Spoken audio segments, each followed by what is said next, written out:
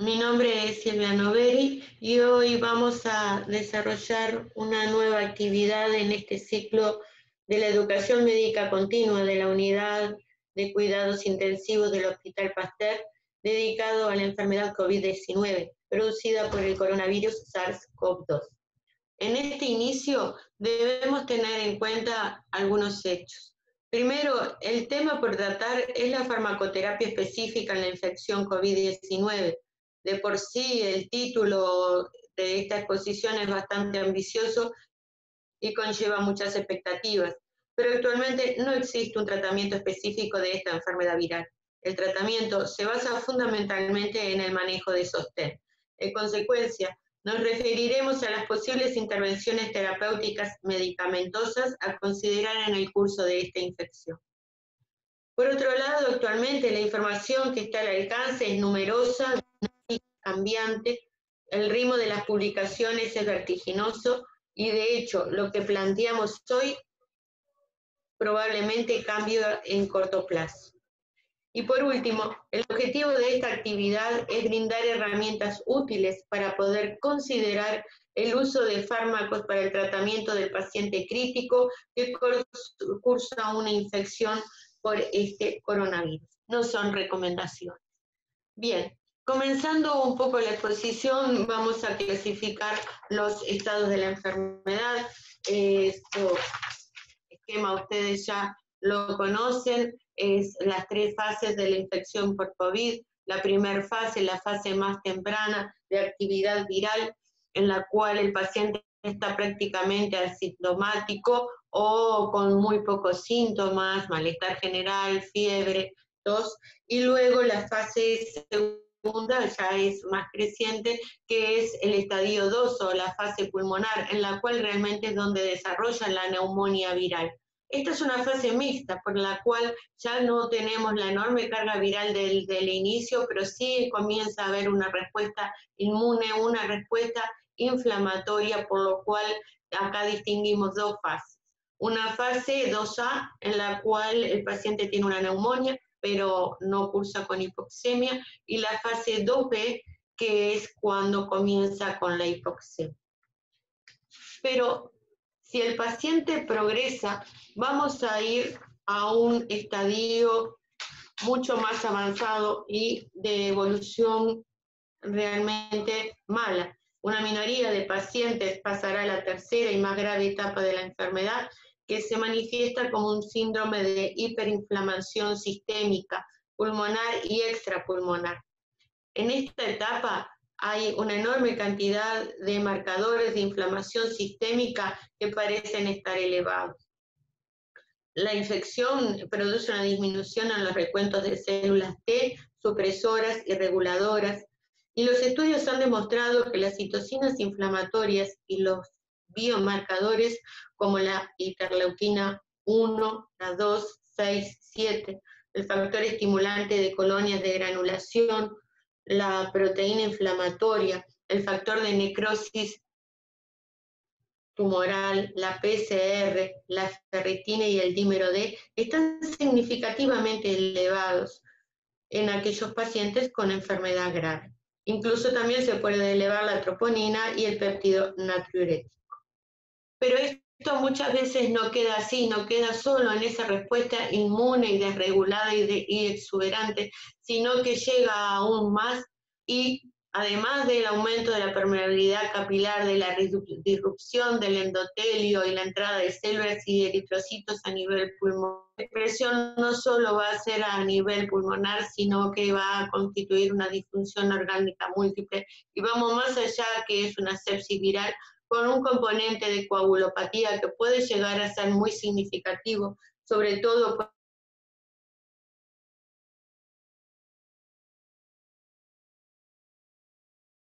Eh, tal vez, o sea, esto es teorizar demasiado, pero eh, creo que eh, lo bueno es tratar de considerar todos estos elementos porque va a ser una de las vías para poder aplicar un tratamiento. Eh, la cuestión que los mecanismos aún este, más este, finos aún no se saben, no se conocen, pero estos son los grandes hechos. Entonces, si nosotros conocemos esta fase del curso de la infección, ¿no será posible que de alguna manera nosotros podamos detener este proceso creciente que puede ir a la gravedad en determinados pacientes? Bien, parece muy lógico que en el estadio de la infección temprana, donde hay una mayor actividad viral, podamos, es una ventana de oportunidades para administrar antivirales. Ahora, parece que no existiría duda, pero ¿existe el antiviral que nosotros necesitamos? Bien, vamos a ver que parece que no. Luego, tenemos otra esquema, tenemos otra este, ventana de oportunidad. Esta, esta fase sabemos que es gravísima, de una altísima mortalidad. A los pacientes están, que ingresan a CTI, vamos a verlo después en las diferentes series, fallecen en un 50%. Entonces, ¿podremos impedir esto que se desarrolle? ¿Captaremos a estos pacientes viendo sus características de tal manera de impedir que evolucionen hacia esa respuesta exuberante y totalmente descontrolada inflamatoria? Bien, veremos si podemos hallar características de los pacientes para tratar de determinar a aquellos que tienen más chances de poder evolucionar a esa fase de gravedad. Entonces, identifiquemos y monitoricemos la población con peor pronóstico y conozcamos las características demográficas, clínicas y paraclínicas de ellas. Comencemos un poco con la letalidad, que fue hoy, hoy de mañana, temprano. La letalidad global del COVID-19 hoy es del 7,1%. A la cabeza sigue Estados Unidos, 22%, Italia sigue con su elevada mortalidad del 14%, España 10%, China 5,5% y Alemania se mantiene en su bajo porcentaje. Estamos que realmente va a tener que ser muy interesante ver después todas sus publicaciones para ver las tácticas que han ideado los alemanes para mantenerse en números realmente tan bajos. Entonces, vayamos a ver lo que es la evolución de la infección del COVID-19. El perfil de la infección sintomática varía de leve a crítica. La mayoría de las infecciones no son graves. Vemos que es la enfermedad leve en un 81%. Por el contrario,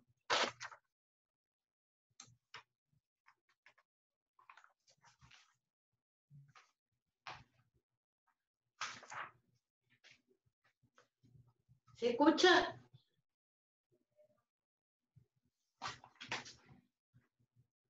Bien. Sí. ¿Se sigue escuchando? Bien. En un informe del Centro Chino para la prevención de infecciones, ¿sí? ¿Se escucha? Sí, sí, sí. El CDC chino, estamos en llama, en febrero incluyó una serie ¿ah? de febrero de 44.672 pacientes. En ellos estamos con infección confirmada, por supuesto, y se evalúa la gravedad.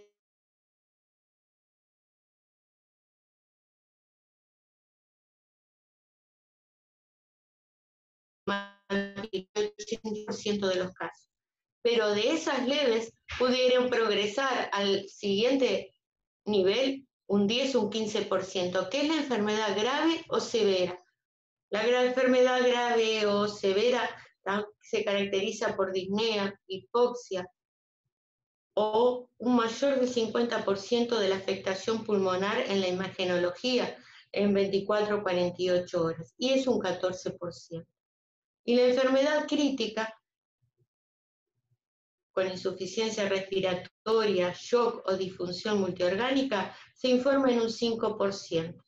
Es en esta población en la que nosotros vamos a centrar nuestra exposición y la tasa de globalidad, la tasa global de letalidad fue del 2,3%.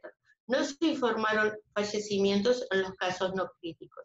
Pero esto no es estático, es dinámico. O sea, cualquier persona puede contraer el COVID y progresar hacia las fases más avanzadas, del 10 al 15% la enfermedad leve y de la enfermedad grave a severa puede pasar de un 15 o 25% a la enfermedad crítica.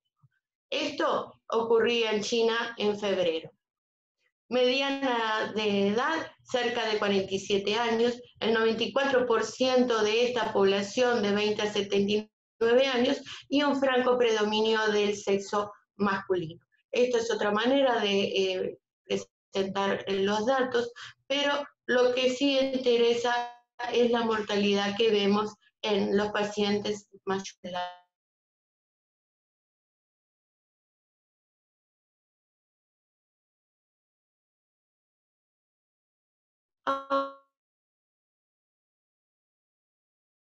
Ahora, publica un trabajo en forma bastante reciente, en abril 22, en que presenta las características y comorbilidades y resultados de 5.700 pacientes. Es una serie de casos en la ciudad de Nueva York, en un sistema determinado de salud. Prácticamente un poco más de un mes, son, solo incluye a los positivos en la prueba de reacción a cadena polimerasa en la muestra nasofaringea, y incluye 5.700 pacientes, pero realmente lo que analizó fueron 2.634.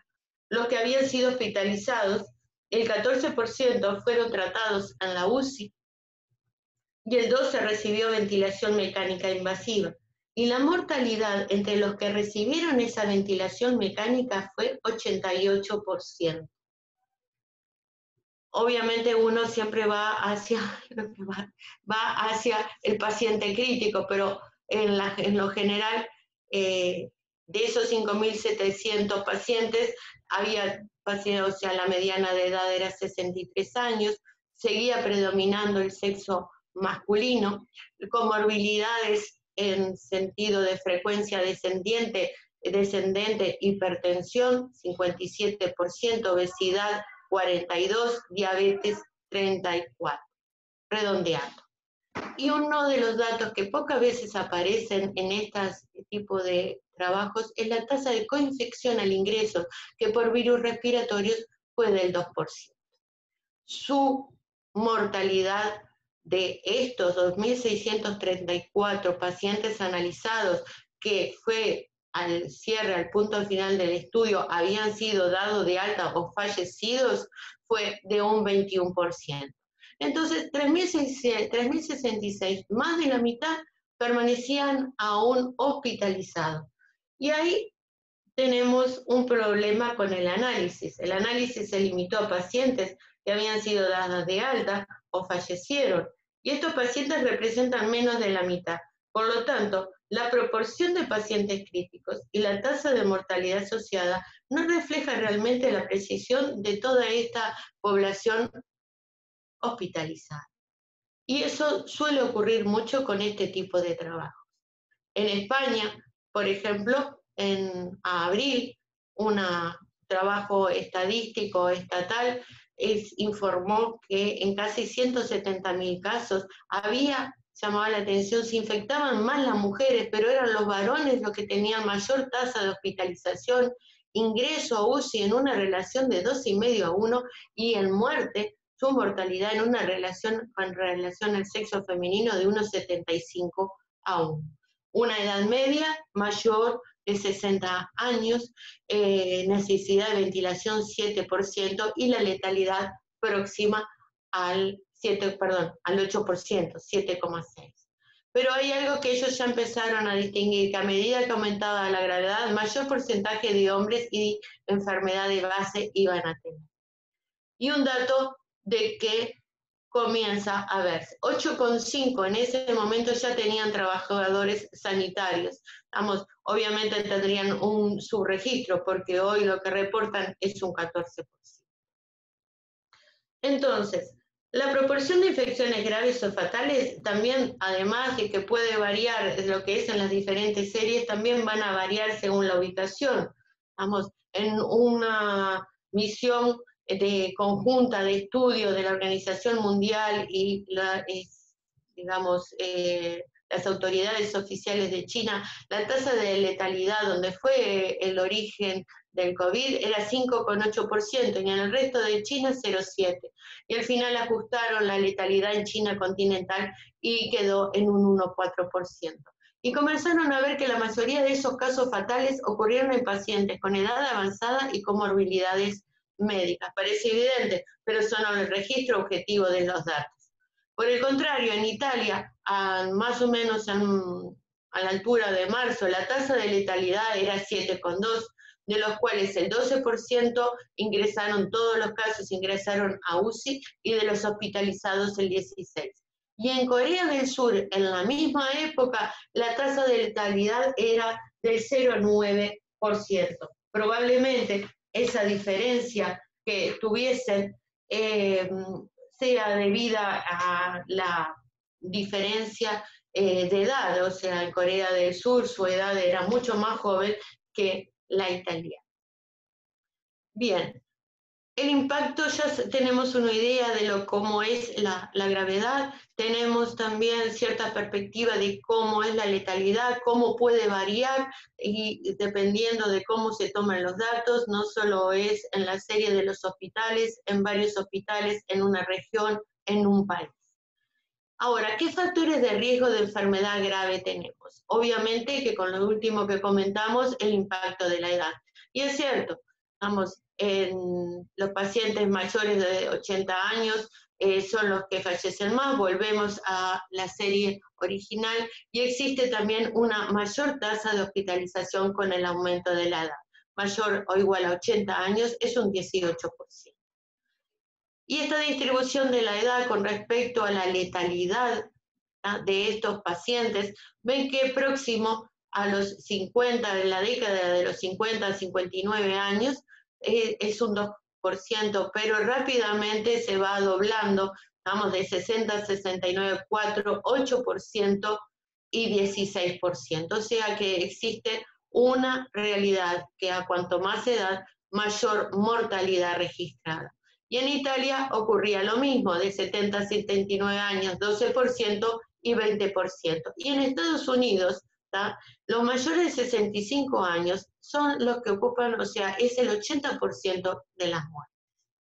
Siendo más allá en el paciente hospitalario, el paciente con factores pronósticos importantes, este trabajo de Zucker fue una de las, una de las principales series que este, se iniciaron, hizo un trabajo univariable, después un multivariable, en el que como factores independientes de mortalidad pudo identificar la edad, el SOFA score, con un puntaje mayor de 5,6 y la presencia de dedímeros. Dedímero mayor de 1000 aumenta el riesgo 18 veces. El aumento de la concentración de dedímero al momento del ingreso se asoció con un riesgo de mortalidad hospitalaria que fue 18 veces mayor a aquello con concentraciones, o sea, en relación a los que tenían una concentración normal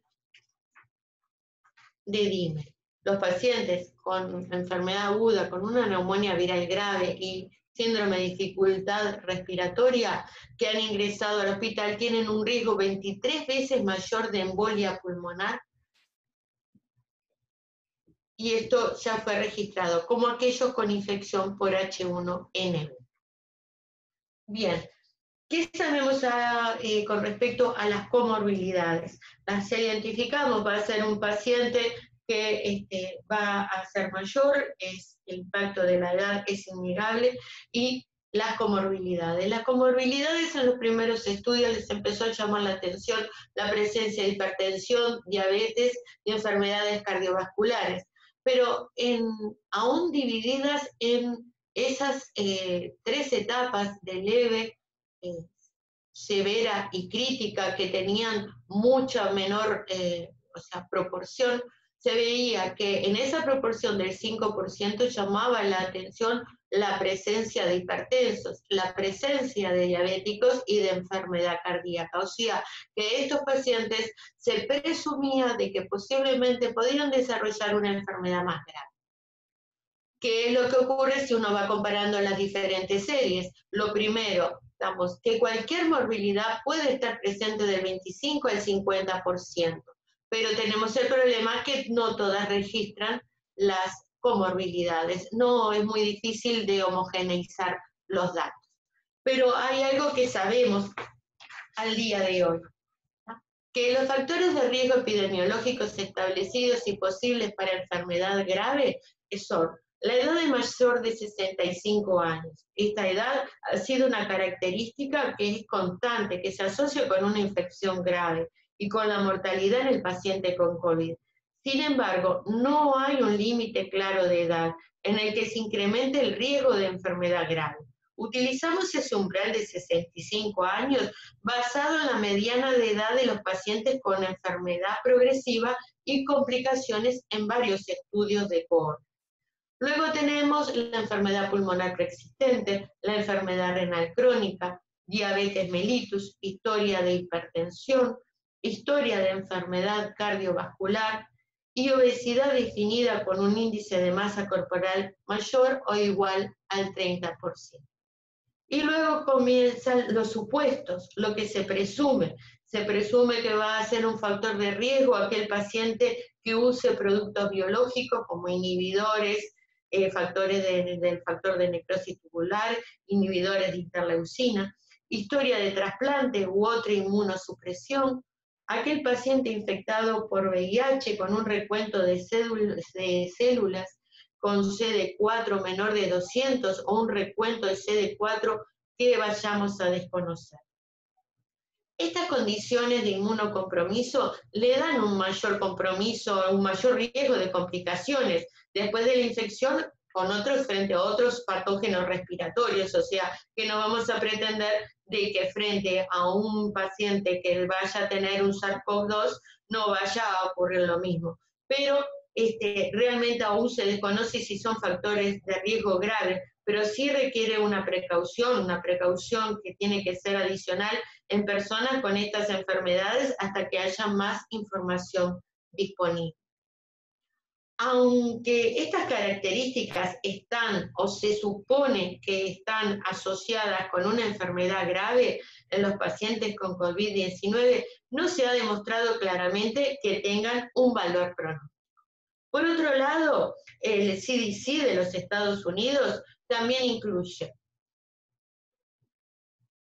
las enfermedades con inmunocompromiso, la obesidad mórbida, mayor, sea, con un índice de masa corporal mayor o igual a 40, y la enfermedad hepática con posibles factores de riesgo de enfermedad grave.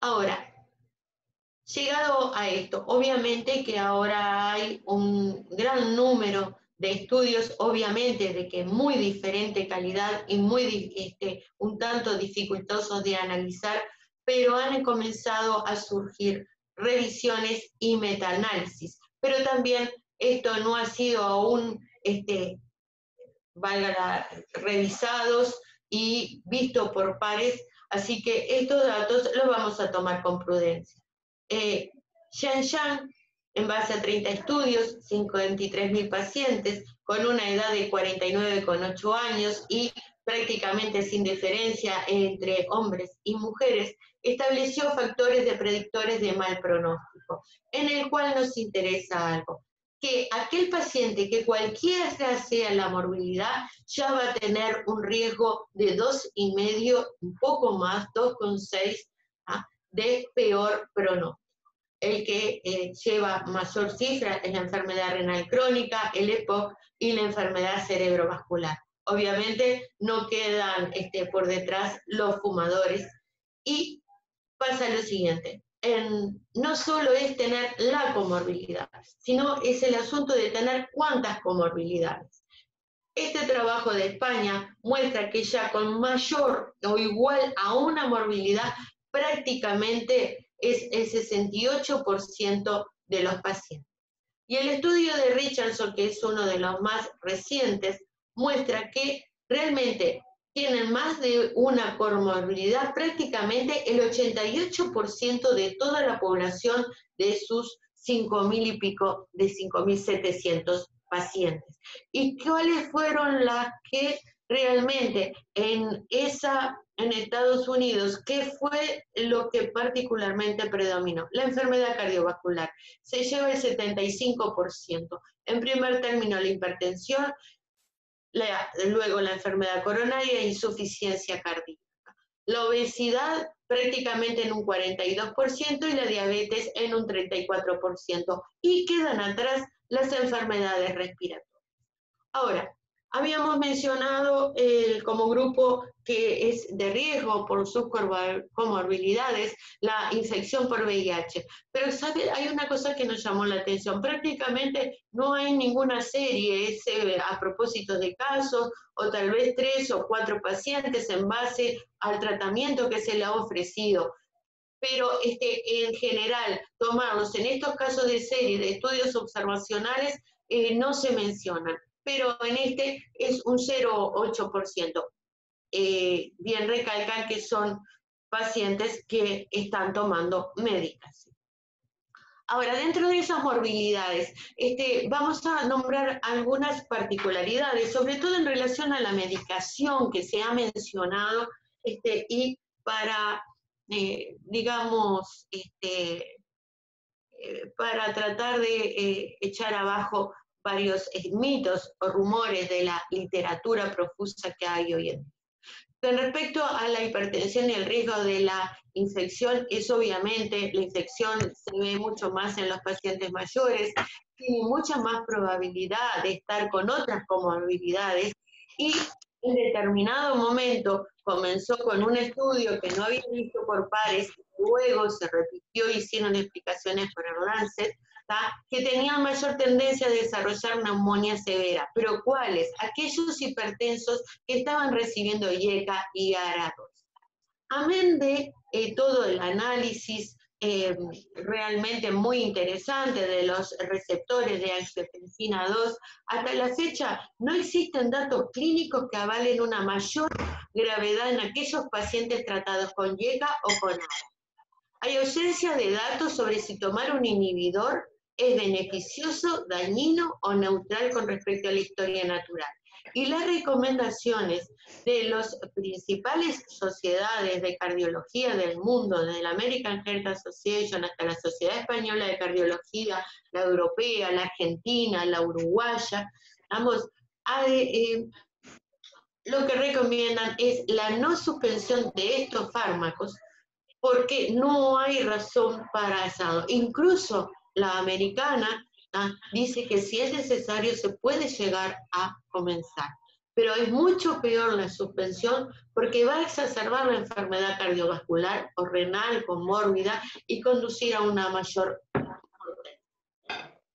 En relación al asma, en el asma realmente no se ha demostrado que las enfermedades este, alérgicas y el asma sean claramente factores de riesgo para la infección por SARS-CoV-2.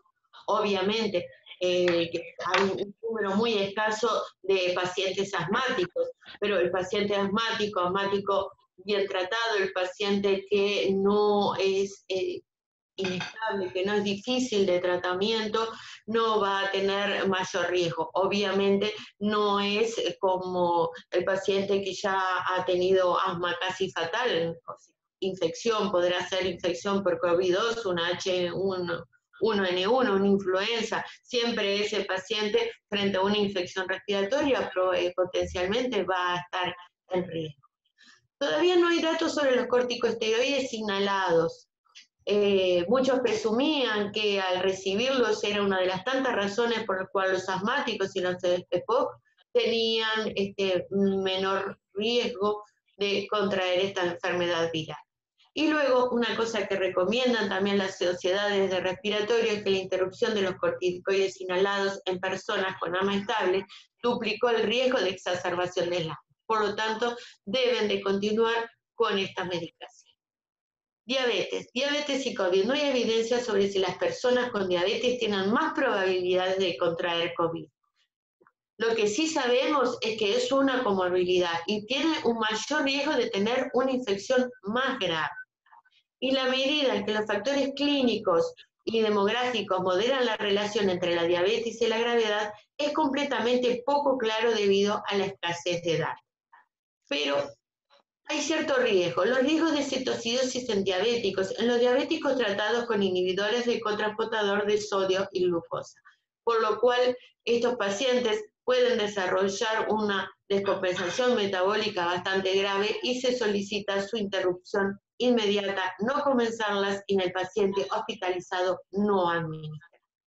Ya hemos mencionado la obesidad. Este trabajo llamó un poco la atención, pero aquel obeso de que tuviese eh, menos de 60 años tiene mayor riesgo de hospitalización en este trabajo y no necesariamente obeso mor.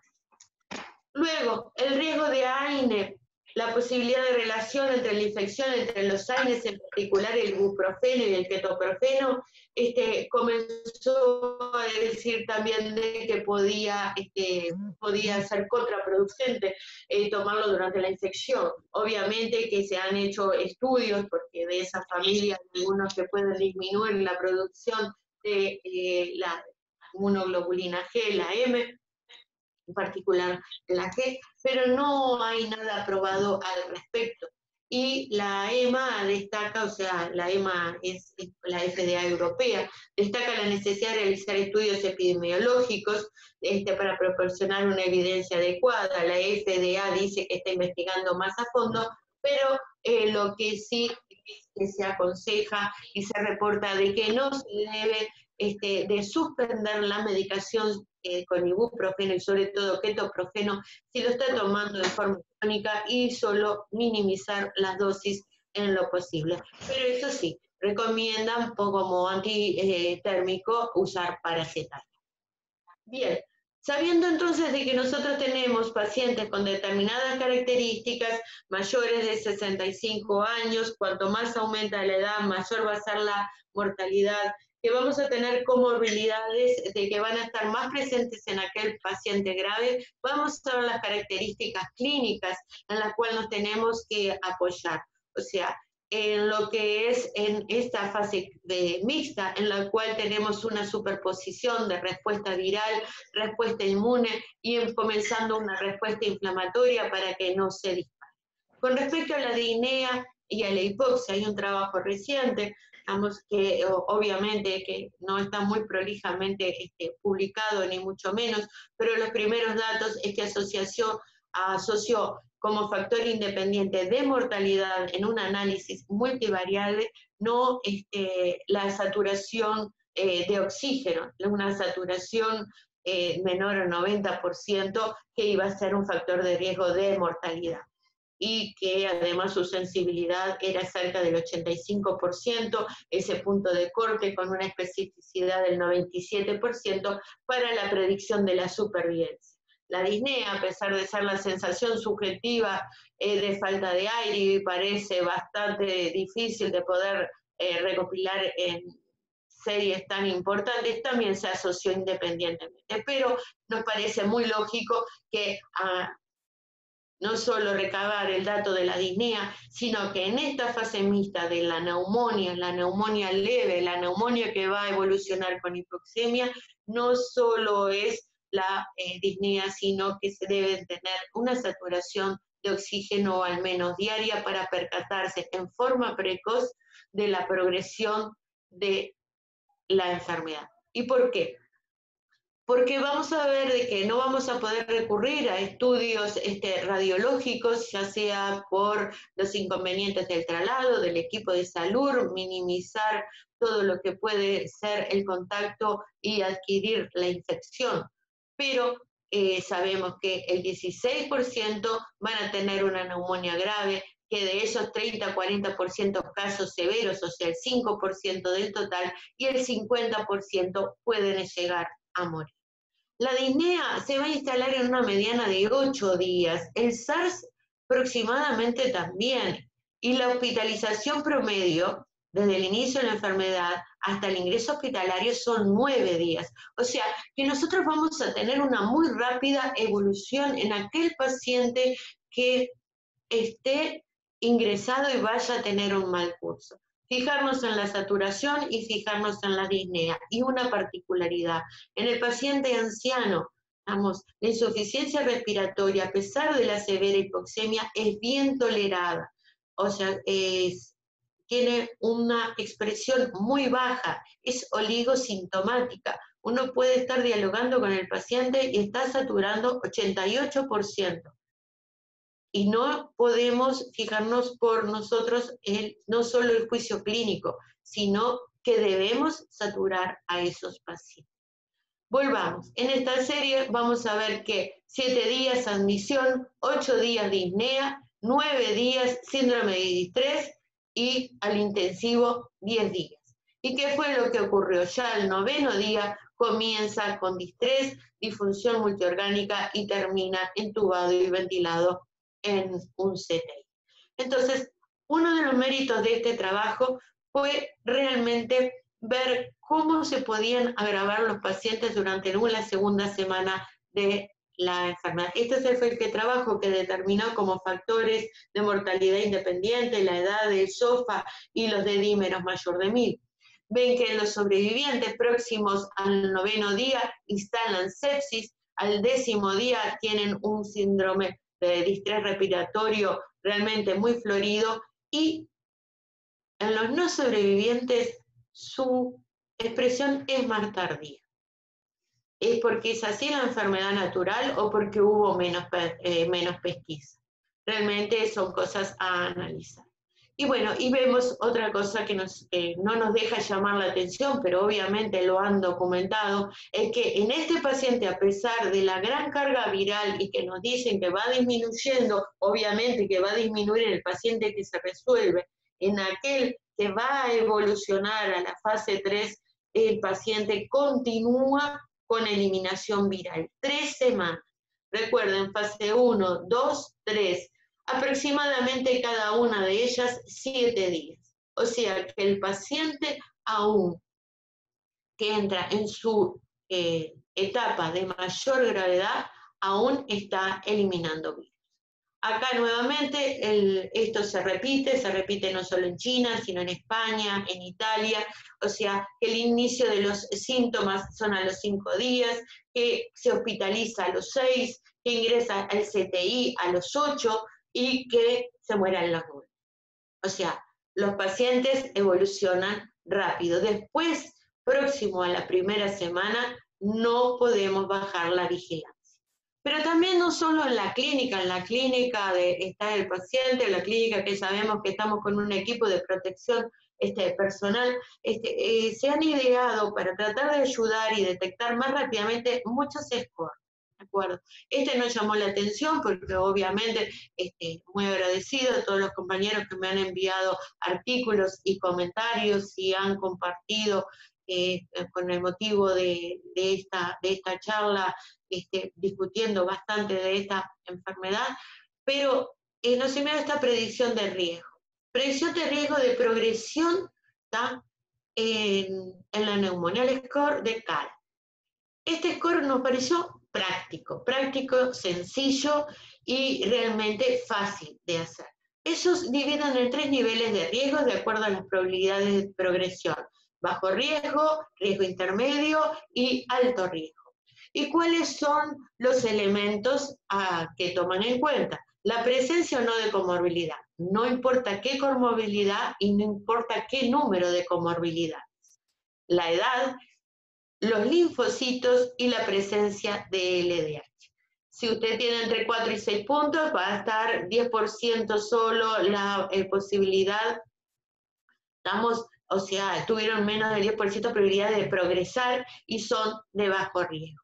Si tiene 9, 7 a 9 puntos, su probabilidad de progresión es del 10 al 40, son de riesgo intermedio, y de 10 a 13 tuvieron un 50 probabilidades de progresión y fueron considerados de alto riesgo. Bien, eh, creo que ninguno de estos elementos que hemos mencionado por separado, este, vamos a decir la verdad, es la solución. Tenemos que unir todo, unir lo que es el concepto de la edad, de las comorbilidades, de la clínica, y ahora vamos a agregar la paraclínica. En la paraclínica vemos todos estos elementos este, alterados, pero los que realmente este, son eh, los principales que diferencian y van desarrollando los casos graves y críticos es la presencia de linfopenia, la presencia de ferritina, de D LDH y PCR las interleuquinas, bien, ojalá pudiésemos en nuestro medio, o sea, nuestro medio hospitalario, pudiésemos dosificarlo, pero para nosotros eso queda solo en la literatura. Bien, acá lo que vamos a ver es qué es lo que ocurre entre esos elementos que hemos mencionado en los estudios entre los sobrevivientes y no sobrevivientes. Vemos que los de como dijimos, estamos bien ascendiendo cuanto más grave es el paciente y esta es la curva de los pacientes fallecidos, mientras que los sobrevivientes se mantiene estable y baja. Lo mismo pasa con la linfopenia. Los linfocitos van descendiendo, no solo se mantienen a la baja, sino que además siguen bajando, mientras que aún con números, este, digamos, un poco bajos al principio, siempre siguen ascendiendo en los sobrevivientes. Y con respecto a lo que es la ferritina, ocurre lo mismo. Bien, las complicaciones. Las complicaciones de los casos de COVID hospitalizados, o sea, ¿qué va a pasar en esa respuesta inflamatoria, exuberante, tormenta de citoquinas, una respuesta totalmente desproporcionada? El paciente ingresa al CTI. Y vemos acá qué es lo que ocurre. ¿Qué va a ingresar? Ingresa el paciente mayor, ingresa el que tiene más comorbilidades, 72% de comorbilidades. ¿Y cuáles son su motivo de ingreso? su motivo de ingreso va a depender de las series, pero el síndrome respiratorio agudo es el mayor, la necesidad de ventilación mecánica, la falla renal y la diálisis son de los principales. Bien. ¿Están escuchando?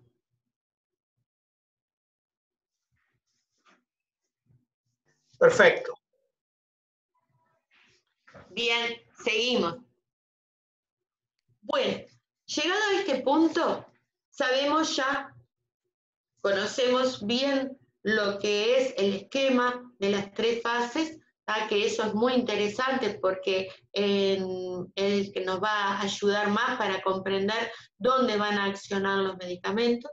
Sabemos cuál es en la fase intermedia, en la fase mixta, en la fase 2 de la neumonía, a quiénes debemos de vigilar más y cómo debemos de vigilarlos para tratar de medicarnos. Estamos frente a una emergencia sanitaria, no tenemos un tratamiento conocido específico. O sea, nosotros si hay algo que sabemos y debemos saber bien es que podemos ofrecerle un excelente tratamiento de sostén. Hemos tratado la parte respiratoria, van a tratar en las próximas semanas la parte este, cardíaca de intervención, también se hizo este, todo lo que es la digamos, las intervenciones cardiovasculares, pero no, parece que los intensivistas no es suficiente. No es suficiente. O sea, sabemos eh, muchas cosas, sabemos, ignoramos más. Esta enfermedad la venimos conociendo poco a poco, pero queremos medicación. Queremos medicación específica, a pesar de que hay muchos fármacos que son candidatos. Pero ¿qué es lo que pasa con esos candidatos? Esos candidatos es el producto de una evidencia indirecta, in vitro, o realizados para el MERS o SARS-CoV, o sea, otro coronavirus, con que si bien en su genética son bastante similares, pero no son lo mismo. Después, muchos fármacos que eh, tenemos evidencia directa que es escasa, de baja calidad o no revisada por pares, y muchos estudios en curso. Con esa evidencia directa, escasa y de baja calidad no revisada por pares, a su vez tenemos el problema que hay una interpretación heterogénea de todos esos resultados y de qué aplicables son. Y existen muchas guías importantes de sociedades y científicas internacionales que dan recomendaciones diferentes. Entonces, comencemos al menos por algo de las, para descansar un poco de, tanta duda y además este, de tratar de pensar de que uno va a ofrecer, que va a tratar de ofrecer lo más apropiado a los pacientes, algo que ya ha sido bastante delineado a pesar de que uno ha escuchado que ha sido muy discutido y hay mucha gente que no está a favor de eso. La realidad con respecto a lo que es eh, la infección grave puede desarrollar una coagulopatía. Vamos a comenzar con el tema de lo que es la heparina. Quizá llegado a este punto, en este momento es uno de los que están más todos de acuerdo.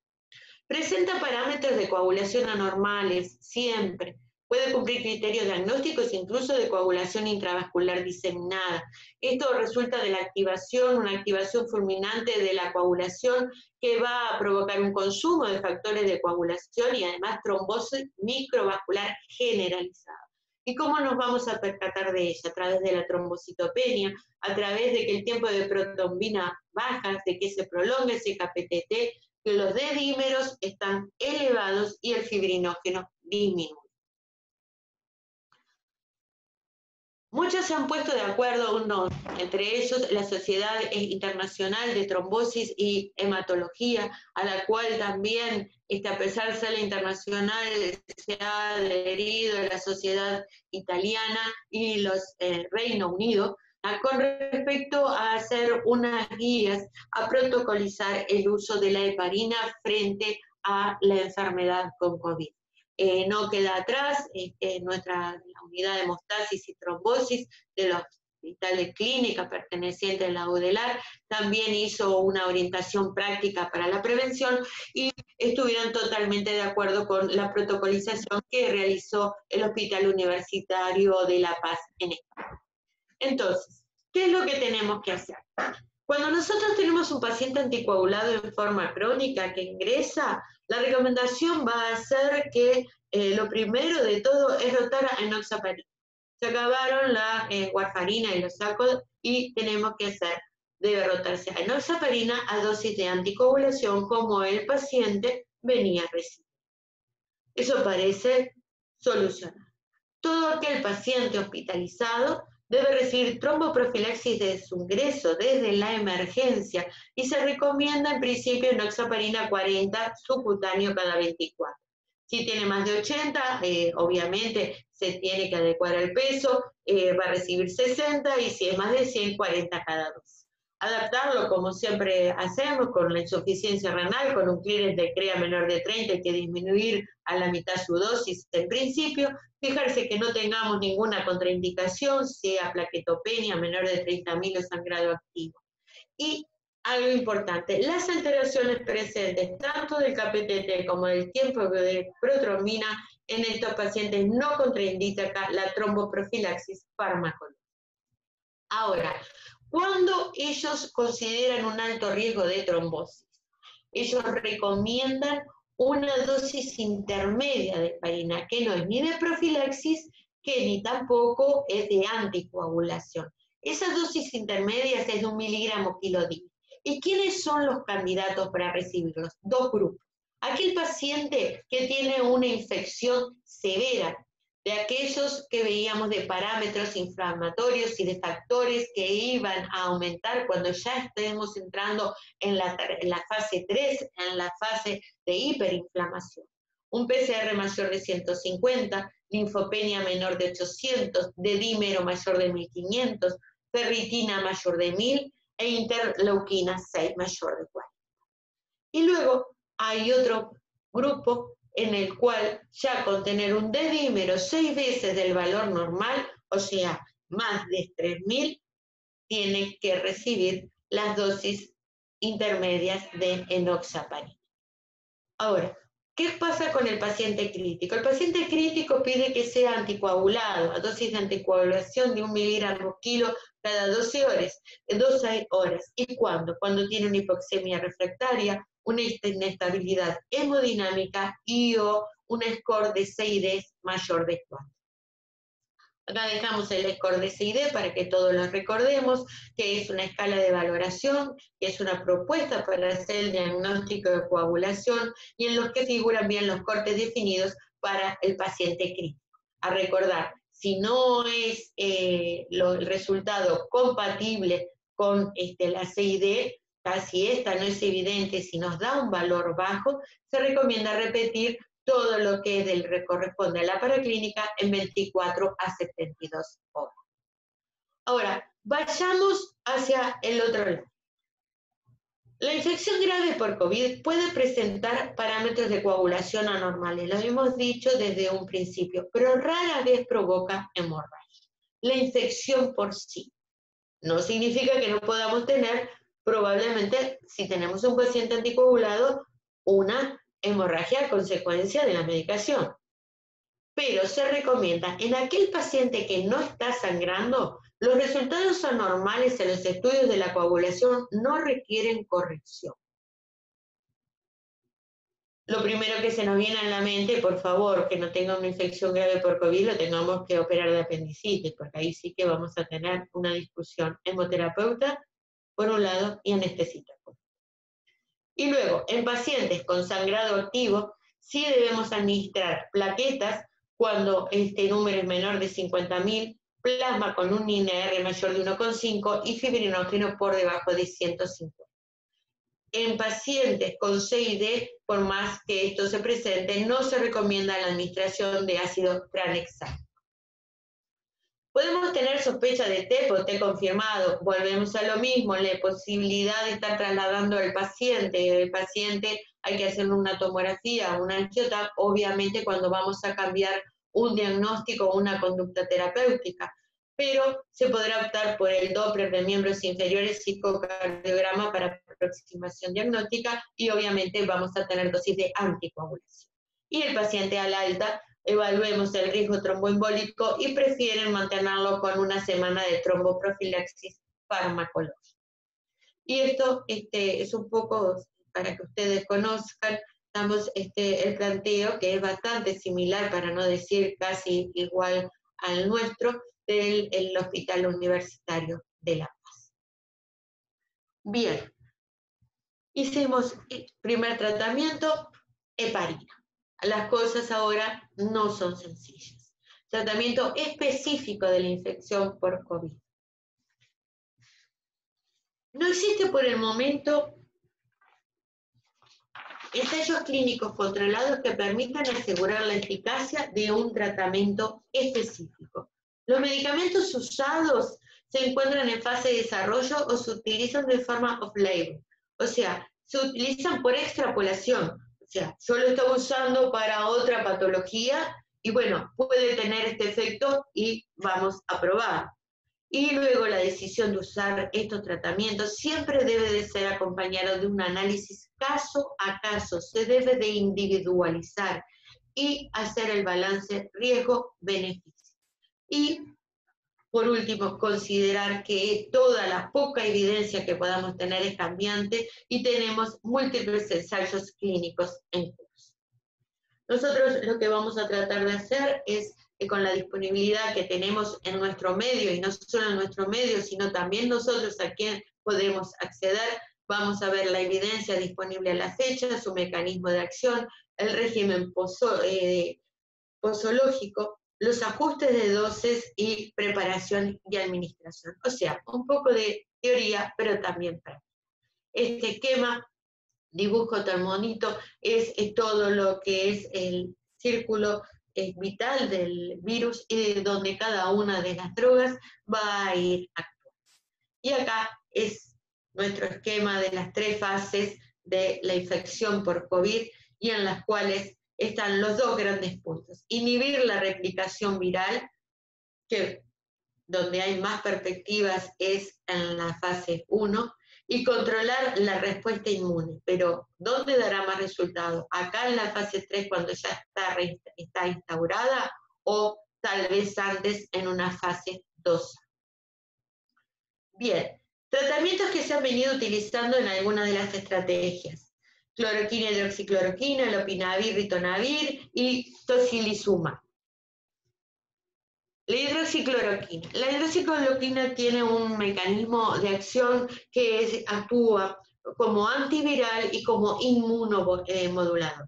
Como antiviral bloquea la glicosilación del receptor ECA2, o se impide la entrada del virus. Y por otro lado, también le impide salir. ¿Por qué? Porque aumenta el pH del endosoma, de tal manera de que no se activan las proteasas que permiten la función del virus con la membrana y por tanto no se puede salir de allí porque no puede liberarse del, virus, el RNA, al citosol.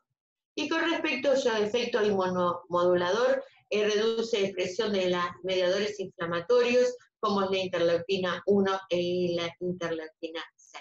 No olvidemos que la hidroxicloroquina son viejos conocidos, se han usado como antimaláricos y además se han usado en enfermedades como el lupus y la artritis reumatoide.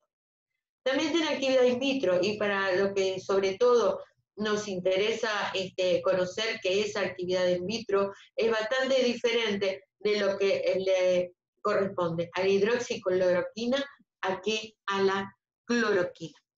Vamos a ver que el X50, estamos, el C50 es la concentración plasmática que eh, asegura el efecto terapéutico máximo y el de la hidroxicloroquina, al ser 0,72, o sea, menor, lo que ya dicen al revés, contra, o sea, parece lo contrario, pero es siete veces mucho más potente que la cloroquina. Y a su vez tenemos a favor de que la hidroxicloroquina, además de ser este, más potente, tiene menos efectos cardiovasculares.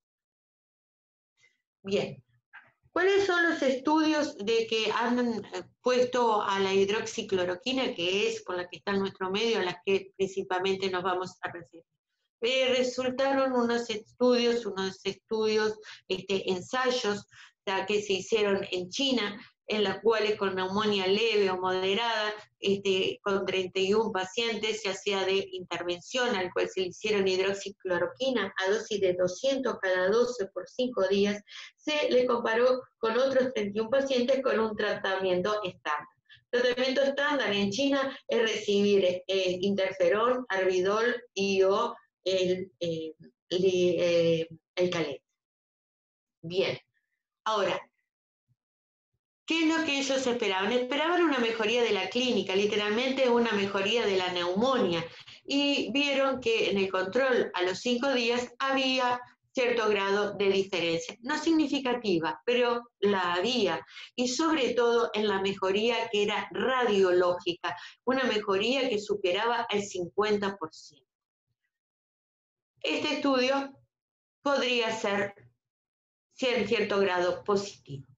Luego, otro siguiente estudio de otro este, Chen, pero era otro señor Chen, estamos eh, pacientes con neumonía confirmada, ¿ah? neumonía confirmada, pero que ninguno de esos, en ninguno de los trabajos pusieron pacientes críticos, veían que también 15 y 15. La misma dosis, 200 miligramos cada dosis por 5 días y contra el tratamiento estándar. Pero ¿qué fue lo que ellos fueron a fijarse? Fueron a fijarse en la negativización del PCR del hisopado nasofaringio al día 7. Y vieron que comparándolos no había diferencia. O sea, 86% contra 93% no resultó ninguna diferencia y ahí quedaron bastante apagados con respecto a lo que era la hidroxicloroquina.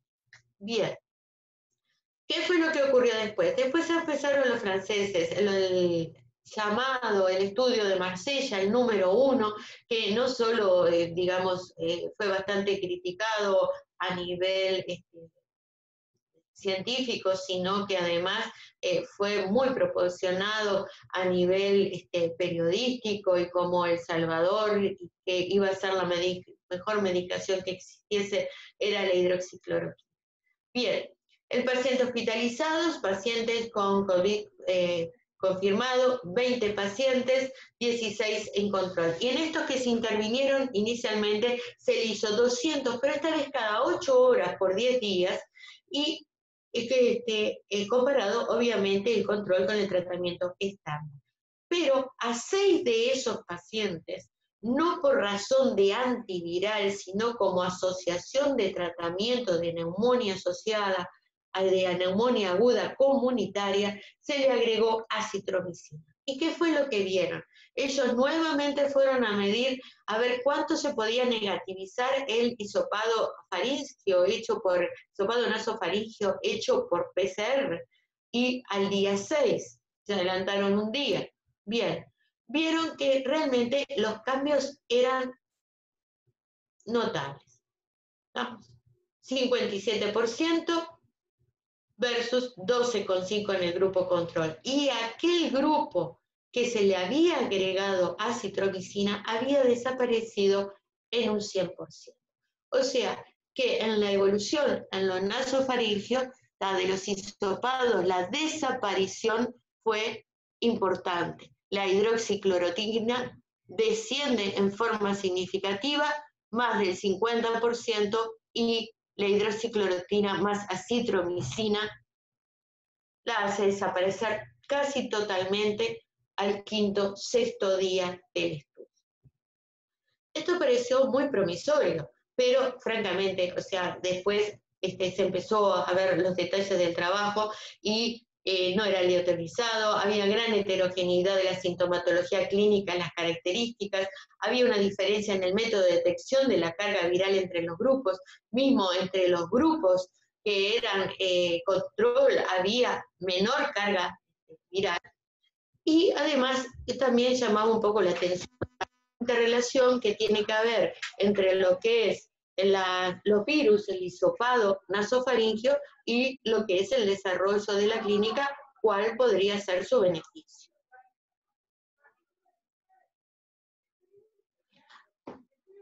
Bien.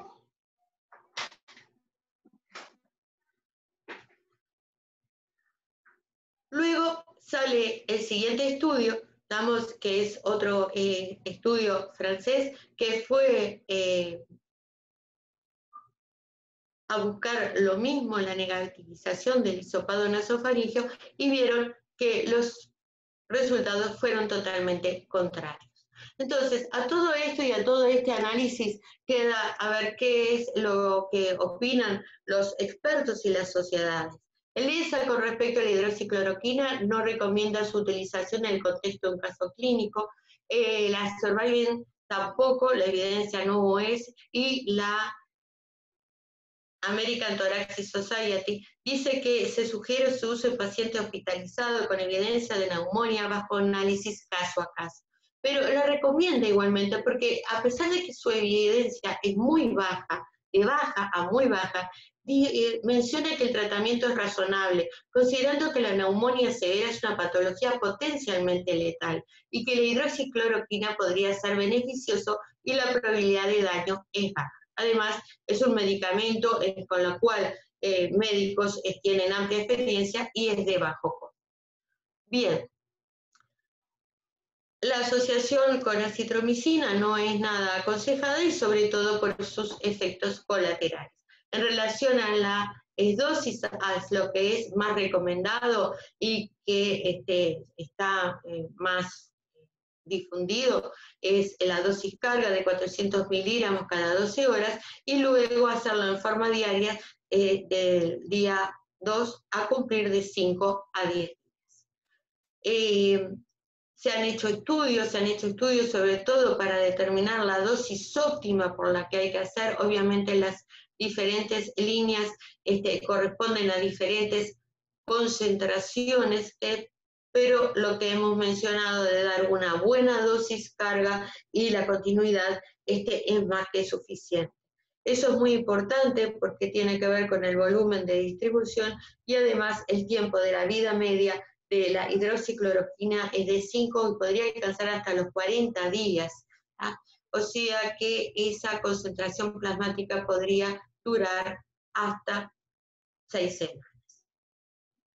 Con respecto a lo que es los diferentes grupos, dos cosas eh, que me llamó la atención. La falla renal o hepática en los prospectos no dice que tengamos que tener ningún cuidado al respecto, pero el papel de la emergencia de la FDA para solicitar este, el uso de la hidroxicloroquina dice que hay que disminuir el clearance, hay que disminuir las dosis de hidroxicloroquina frente a un descenso del clínico de creatinina y frente a cualquier tratamiento de reemplazo renal. Y hay que usarlas con precaución en los pacientes con daño hepático.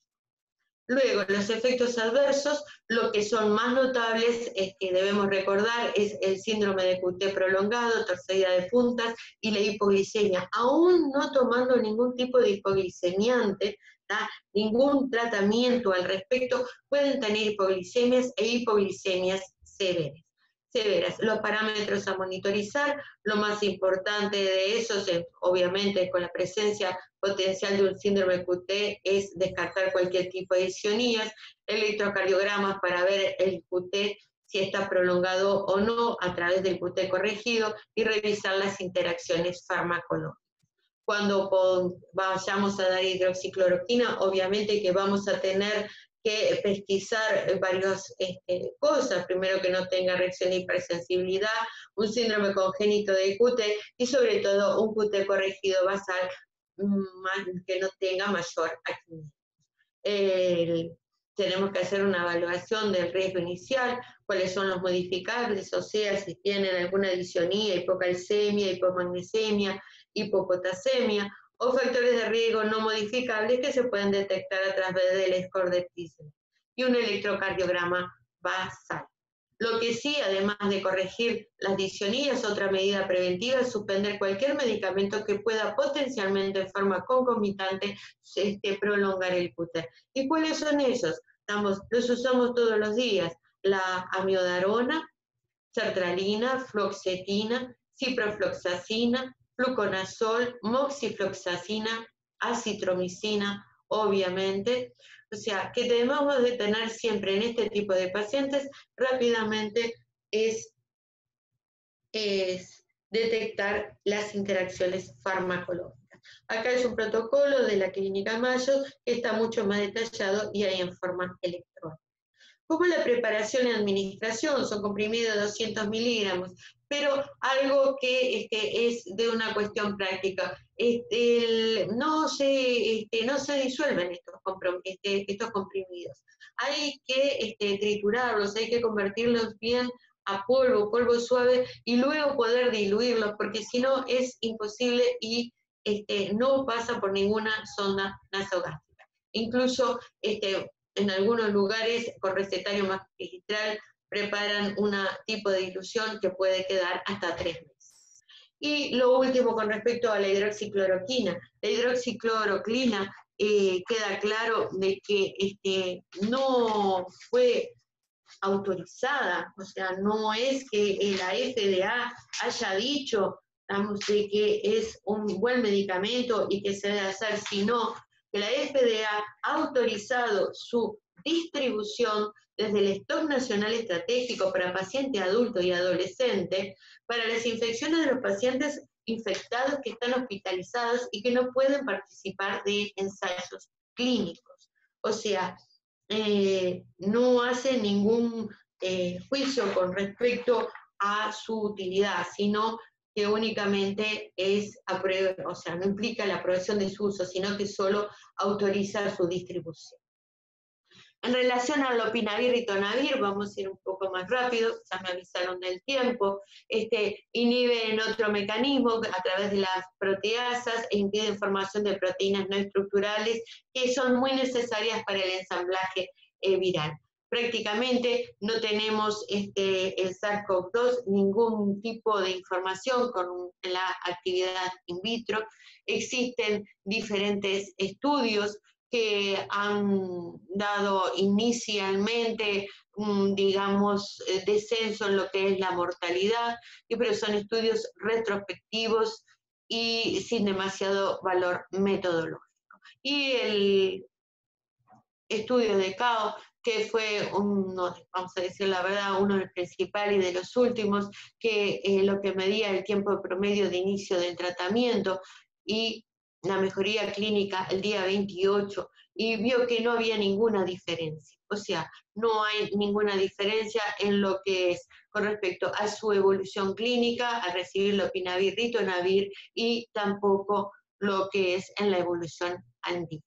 Si bien se dice que podría disminuir levemente la mortalidad, es una, certeza de evidencia muy baja y podría disminuir el, riesgo de desarrollo de insuficiencia respiratoria. Estos datos salen de una revisión sistemática y de un reporte preliminar hecho de, una revisión que aún no se ha aprobado. La dosificación que se hace es, eh, bueno, se mide a través del comprimido del lopinavir 400 miligramos en base cada 12 horas por 10 días. tenemos que tener mucho cuidado. La evidencia de disminución del 28% en la concentración plasmática en los pacientes obesos, pero en general siempre le dan la misma dosis en el VIH. Eh, no tenemos alteraciones en la falla renal y es bastante seguro de usar en el embarazo. Lo que se destaca de este paciente sobre todo son los efectos, los efectos adversos digestivos, son sumamente importantes, y el control que además que prolonga el QTI se debe eh, de revisar, eh, también las afectaciones hepáticas. Y acá tenemos las diferentes interacciones farmacológicas. Eh, algo en particular de su preparación, que este, siempre vía oral, no se deben triturar los comprimidos porque disminuye su efecto en un 50%, vamos, entonces tenemos el problema de que si no se cuenta con solución, bien, contiene la administración de, solución milímetro, contiene etanol y propilenglicol, eso ya viene preparado ya, es la presentación soluble, es incompatible con sondas de poliuretano y solo compatible con sondas de silicona y de PVC. Pero ¿qué es lo que ocurre si nosotros no tenemos la presentación soluble y disponemos de que se use? Bien, el laboratorio el que lo produce, dice que al menos teniendo de 4 o 5 horas sumergiendo los comprimidos en aguas, estos, este, vamos a decir la verdad, dirían que no es que se disuelvan, sino que se ablandan, tienen una consistencia totalmente gelatinosa, pero bueno, eh, al menos este, parece que puede pasar cosas. Eh, tocilizumab es sumamente interesante, es un anticuerpo monoclonal antagonista, este, pero nosotros no disponemos de esto y su evidencia disponible no permite establecer eficacia y seguridad. Pero hay muchos ensayos y muchos estudios en marcha, tanto en Italia como Francia, España, Estados Unidos y China. Los corticoides. Los corticoides por sí, los corticoides por no. Los corticoides es lo primero que pensamos. Tenemos una inflamación, un sistema interinflamatorio. Bien, pensemos, corticoides sí realmente sirven. Bien, eh, como siempre, no, sí o hay gente más o menos neutra. Lo que no nos queda en duda es que el uso de corticoides va a ser en el paciente con su agudización del asma, en el paciente con un EPOC exacerbado y además de eso en el estado séptico que este, damos el solucortil no más allá de 200 miligramos al día.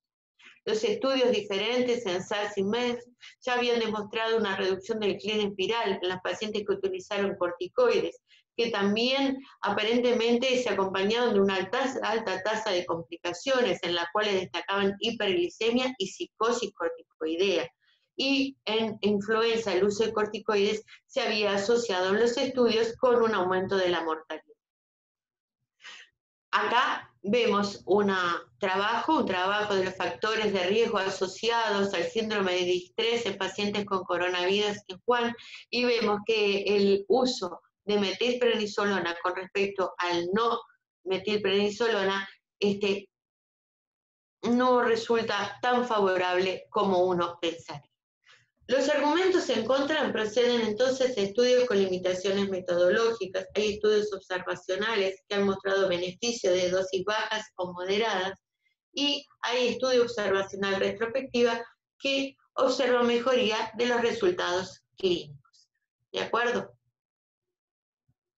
La tormenta inflamatoria presenta en algunos pacientes un síndrome de activación macrofágica, de cuyo arsenal terapéutico además estarían los corticoides.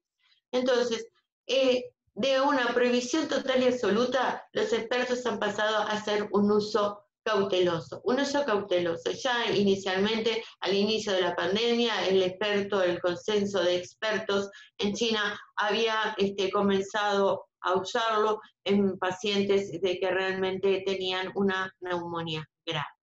¿Cuál es la opinión de expertos? La opinión de respeto es este, aprobarlo, aprobarlo caso a caso, sobre todo cuando se tiene la respuesta de hiperinflamación, incluso cuando tenemos en la etapa de neumonía, de neumonía viral acompañada con hipoxemia, en la neumonía de la fase 2A, y el corticoide al que más se refieren, al que más recomiendan, es la metilprednisolona.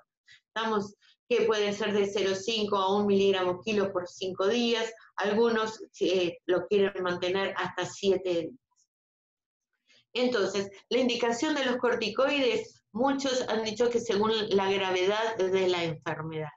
Y si la evolución es desfavorable al sexto, séptimo día de inicio, ya lo comienza. Si tiene fiebre prolongada, mucha disnea, astenia y marcadores inflamatorios elevados. A su vez, una placa con infiltrados pulmonares progresivos y una saturación de oxígeno basal menor del 93%. Vuelvo a lo mismo. Acá no habría dudas, las dosis que se usan en la tormenta citoquímica son elevadas, también dosis altas, pero en la enfermedad grave y en la enfermedad moderada con una eh, posición un tanto más audaz, hay este, expertos que recomiendan ya comenzarla cuando están estos factores de mal pronóstico para que el paciente no evolucione. Acá nuevamente los este, criterios, criterios de tres o más, se ha hecho un pequeño score de tal manera que si reúne más de tres de estas condiciones, estaríamos autorizados para dar corticoides en el síndrome de estrés respiratorio, ya sea leve, moderado o grave, preferentemente en el moderado grave e individualizar en entonces, ¿qué dicen los corticoides? Los corticoides han variado un poco. Estamos en la ISA dice que los pacientes este, se recomienda uso en el contexto de un estudio este, randomizado. El, la campaña de la sepsis más o menos dicen lo mismo, pero este, si bien no se puede establecer ningún tipo de recomendaciones en pacientes hospitalizados con ventilación mecánica con falla respiratoria, se sugiere su uso por sobre no usar. Entonces, en la fase 3, como ya conversamos, y además ausencia de infección bacteriana, hemorragia digestiva, hipertensión e inmunosupresión. Bien, para terminar, las dos palabras, algo que viene conversándose mucho en estos días, plasma de convaleciente. El plasma de convaleciente es una inmunoterapia, inmunoterapia clásica, que ha sido este, estudiada en otras epidemias, desde la gripe española hasta SARS, MERS, y con eficacia y seguridad satisfactoria. Eh, demostró su uso entre, en un metaanálisis de 32 estudios, pero sobre todo resultó útil para SARS e influenza severa, no así para ébola. Vamos a ver que hubo un estudio, un estudio en forma reciente de 10 pacientes en los cuales mejoró enormemente, ya sea la actividad inflamatoria, la clínica, la radiología y este, transfundiendo 200 mililitros de un plasma convaleciente de donantes recientemente recuperados con títulos de anticuerpos neutralizantes superior a 1,640. Lo que más llamó la atención, está bien la mejoría y eso es muy esperable, este, pero la carga viral fue indetectable después de que se le dio el plasma congelado en siete pacientes que tenían viremia previa. Estos son diferentes medidas, diferentes scores de los diferentes pacientes y vamos a decir que este, eh, la conclusión es que tiene un efecto terapéutico potencial, un bajo riesgo, se hace todos, este, el problema del plasma es este, la dosis óptima y el punto de tiempo de tratamiento. Bien, otras medicaciones. Obviamente volvemos a lo mismo, a la revisión del el llama del 13 de abril, que no hay evidencia de ensayos aleatorizados estamos, y que no hay datos de ensayos clínicos que respalden ninguna terapia de tipo profiláctico además, no solo de tratamiento, sino profiláctica, y que este, tenemos muchos estudios en curso. La evidencia en suma, para no cansarlos más, la evidencia es escasa, es frágil, es de baja calidad, el beneficio es incierto, el riesgo es grande, la precisión debe ser personalizada caso a caso. La sola evidencia nunca es suficiente, además, para tomar decisiones. Siempre hay que tomar en cuenta el balance entre beneficios, riesgos, los costos y cada contexto. Como siempre, la prescripción debe de ser personalizada. Dos cosas que eh, debemos recordar los médicos. Primero, es no dañar, pero también lo más difícil de hacer en medicina es no hacer nada. Muy bien, muchas gracias. Disculpen el tiempo, esto era un poco largo, queríamos tratar de que este, explicarlo lo mejor posible. Quedan muchos datos en lo que es la presentación, espero que les sea útil. Y bueno, de nuevo, muchas gracias a los colegas y que me ofrecieron todo el material, revistas, charlas, conversaciones y comentarios. Buenas tardes. Gracias, Silvia. Eh, bueno, la verdad que para nosotros, eh, acá el doctor Núñez pregunta sobre el Remdesivir, capaz que por, las noticias mediáticas que hubo ayer con el gobierno americano. Este, ¿Qué le podés decir vos, Silvia?